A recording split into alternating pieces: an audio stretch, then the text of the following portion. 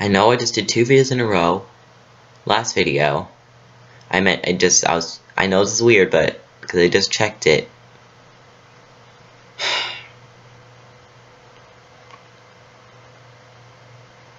It replaced everything.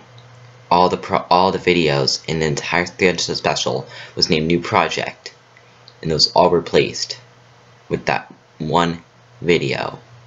So I of it.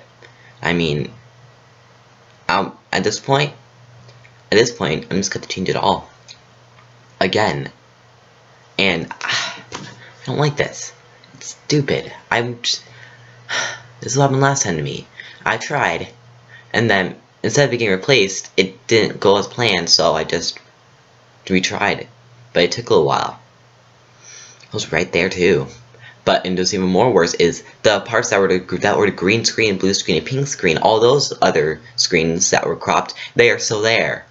So I had to. I don't. I had, I'm going to retry. Either one.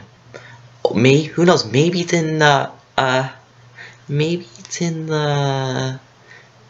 D drive. Cause, but I'm going to have to try. If I can't find it in my D drive, had to retry the entire thing. The entire thing. Hmm.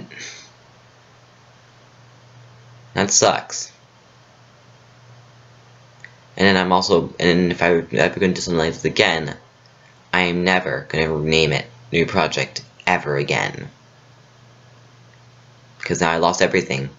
Lost all the project, lost everything. I pretty much lost almost everything of it. That new project, because that new project just replaced every single video that was named new project.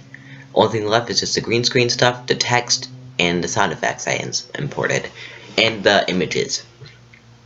Other than that, everything else is just not. Everything else has been replaced. So, if I don't, if I can't find my D drive or C drive, it's gone. I have to read and I have to redo those parts, possibly the whole entire thing, and that's gonna suck. That's what I wanted to say.